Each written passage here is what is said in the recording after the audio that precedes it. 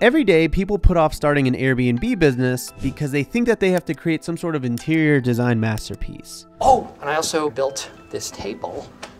What is that, chestnut? But that's definitely not the case. I mean, honestly, my first set of Airbnbs were kinda trash. Everything in here is like one big tacky blouse. Oh, come on. But they still managed to make between one and three thousand dollars of profit every single month. Furnishing an Airbnb can definitely be a bear, but it doesn't have to be. You just have to know where to look. And that's exactly what we're going to be talking about in today's episode of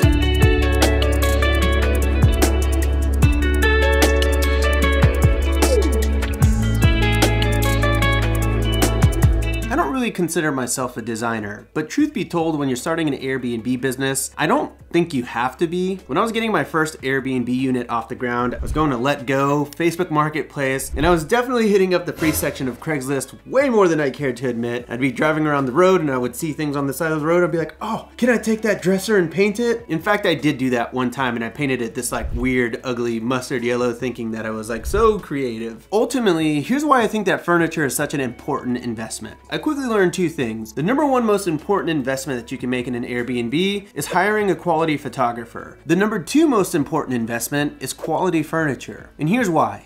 Replacing furniture actually costs you twice, maybe even thrice. When you buy crappy furniture and you put that in your Airbnb, it's inevitably gonna break. So now, let's say that you have to replace that cheap dining room table or that chair, well you also have to find someone to come and assemble that new dining room table or chair, and then haul away your old dining room table and chair. And then if that breaks again because you just replaced it with the same crappy item, then it's gonna break again. And then by that time you're gonna say, I'm so tired of replacing this dang table, I'm just gonna spend the money on a nice one. And now you've spent so much more money than you ever would have had you just coughed up the money a little earlier. So my general POV is just gonna be buy new furniture versus buying used furniture because if you buy used furniture, it's just that much closer to breaking on you. Listen, I know that it's more expensive, but I promise you it's worth it. So buy nice, not thrice. And hey, if you wanna download my very comprehensive list of all the items I put in my Airbnbs, then I'll leave a link for you down in the description below. So how much does it actually cost to furnish an Airbnb? It's hard to give you one figure on this because I've slowly leveled up my design over time. When I first got started, I was furnishing my places for two to three thousand dollars.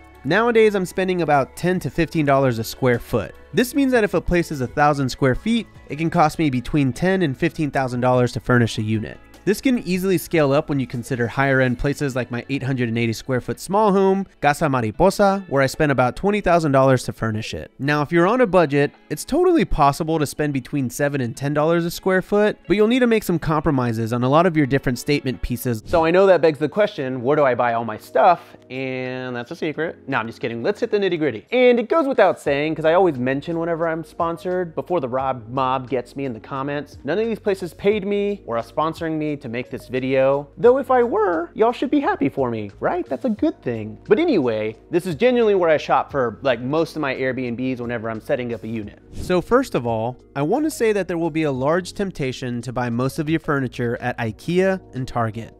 I would really shy away from this. When I was first getting started, I was like, oh my god, IKEA is amazing! But then I really started to look around and examine other Airbnbs, and when I would, I'd be like, oh, I've got that lamp. Oh, I've got that giant poster of Marilyn Monroe. Oh, I've got that Swedish meatball holder. Now, there are some key exceptions here, of course, when it comes to Target. One thing that's totally Robuilt approved is effectively every single thing in the Hearth and Hand section, because our gods Chip and Joanna Gaines would never let us down. I really love their mirrors, jars and containers, and Rise and Shine coffee mugs which I know are oddly specific, but they're cute, sue me. Usually when I'm furnishing an Airbnb, I walk in with two carts and just buy out the section.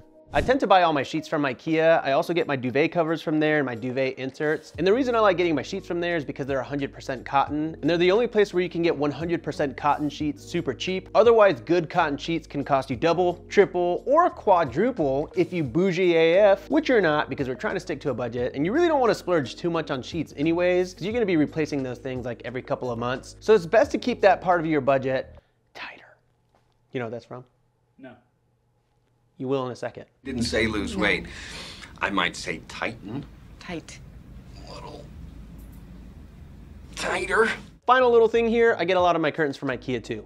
Now let's move on to what I consider adult IKEA, and that's going to be World Market. They are a big box chain, but they just have a way more premium product for the price. I love getting couches, dining room tables. Oddly enough, my favorite place to get plates. All right, we're on borrowed time here because kids are going crazy and my wife is cooking in the kitchen, but I just wanted to speak to art real fast and say, in general, I try not to buy art from any big box chain, but in a pinch, if I absolutely have no option, I get a lot of my art from World Market. I think that they tend to have like the better, more unique art. Your art was the prettiest art of all the art. But for the most part, I try to buy downloadable prints from Juniper Print Shop. I'll then send it to FedEx to get printed. I'll frame it up and hang it in my house. And I like doing this specifically because there are like thousands of options to choose from, whereas places like IKEA, Target, Ross, World Market have like five to 10 singular pieces that literally everyone uses for their Airbnb. Let's take a moment for a public service announcement about plants and pillows. In my mind, two things really make or break a space, and that's usually gonna be throw pillows and fake plants. Now, you can do real plants. It's obviously gonna be a lot more ideal. The problem is that plants are living things, and if you don't have your cleaners, your guests, or Matt Damon helping you tend to your plants, they're gonna die.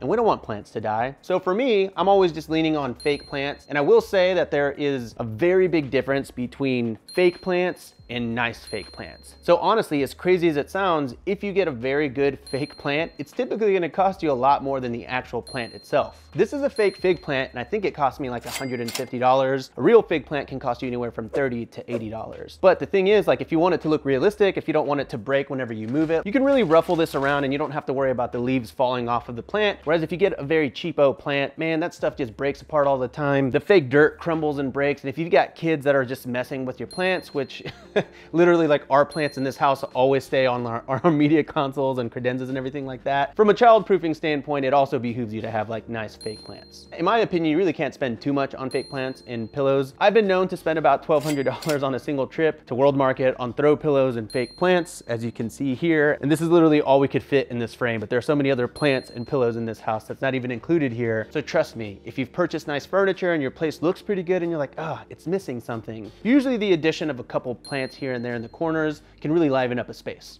World Market, in my opinion, has the best selection on both of these items. I think we should talk about splurging because I think the hardest part for most people that are setting up a short-term rental or an Airbnb in general need to really understand that you need to choose your battles from a budget standpoint. And what I mean by that is that if you're like most normal people, you have a budget set and you, you really don't want to go over that budget. And so there are sacrifices that you have to make along the way. So it's really about asking yourself, do I want the living room to be the showpiece or do I want the dining room to be the showpiece or the kitchen? Now, whenever I'm breaking down my budget and having to make the heartbreaking decision on where to splurge, I usually tend to spend a lot of my budget towards the cover photo of your Airbnb listing because this is gonna be the biggest photo on your listing that is really selling your house to anyone. If you wanna charge two, three, four, five hundred dollars a night, you really got to sell them in a nice, beautiful photo. And so you really have to decide what room is going to sell your place the most. And it doesn't even necessarily have to be a room. For example, like here in my cottage in Tennessee, I've got a giant deck with a view of the Smoky Mountains. So maybe in this instance, I would splurge a little bit more on my patio furniture because that would be part of the epic photo that showcases the mountains that surround my house. But honestly, pretty consistently, I put most of my money into the living room. That is where people are going to be hanging out. They might have a beer, they might have some cocktails, wine, heroin, whatever that is, that's really gonna be where people are gathering together, sinking in, vegging out, watching TV, laughing, catching up. So for me, I like to think of my Airbnbs as what place brings the most comfort to people, and that's usually the living room. Now, usually whenever splurging, the pieces that are gonna take up the biggest part of your budget are what I call statement pieces. So these are gonna be things like couches, coffee tables, credenzas, buffets,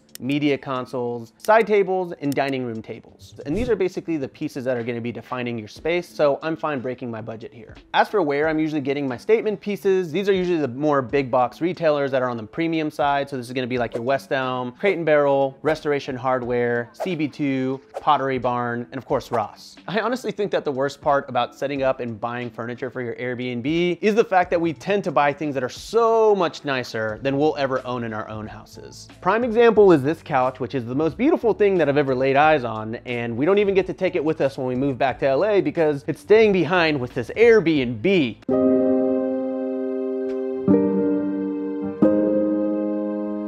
miss you.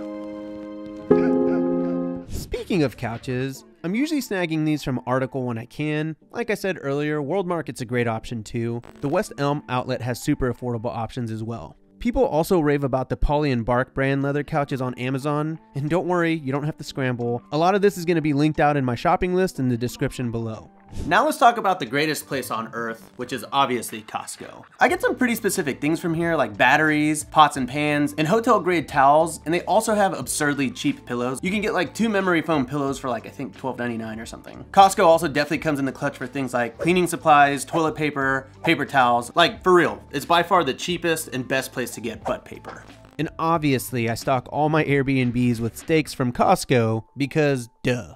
Lastly, I tend to fill in all the different gaps on Amazon and get, you know, final little touches and if I'm missing a fake plant and I need it super fast or knickknacks or pieces of art, whatever that may be, I get that from Amazon. I definitely get all of my mattresses and bed frames from Amazon too. This mattress and bed frame is actually from Zinus or Zenus. I've never actually said that out loud before. This bed frame pretty much matches any style that I go with on Airbnb. Now, if I'm not mistaken, the last I heard, these have some kind of recall or something like that. I've never had an issue with them, but either way, I also get Sleep Signature mattresses too of Amazon. And people rave about these mattresses. Like they will contact me literally one year later and be like, hey, where'd you get your mattresses from? They're so nice. I've never slept so good in my life. So you're welcome for the free advertising mattress companies. And final point that I just realized I hadn't thought about until this moment. For the most part, I get all of my rugs from ruggable.com. All right, take a deep breath. That was a lot. Let it sink in, digest it, process it. Go back, watch the video again. You're gonna be fine, I promise. But hopefully now you have a pretty good idea on how to tackle furnishing your Airbnb maybe? If this is the biggest component that's been holding you back from starting an Airbnb business, hopefully now you have a little bit more comfort knowing that it's, it's really not too bad. Back when I had a consulting business, the furnishing aspect of an Airbnb is what used to really hold back my clients because they really felt like they were biting off more than they could chew. So yeah, that's furnishing an Airbnb. We go into this type of excruciating detail on furnishing and so many other topics in Host Camp. So if you're interested in learning a little bit more about my mentorship program, I'll leave a link down in the description below for you. Otherwise, go forth and furnish, my children.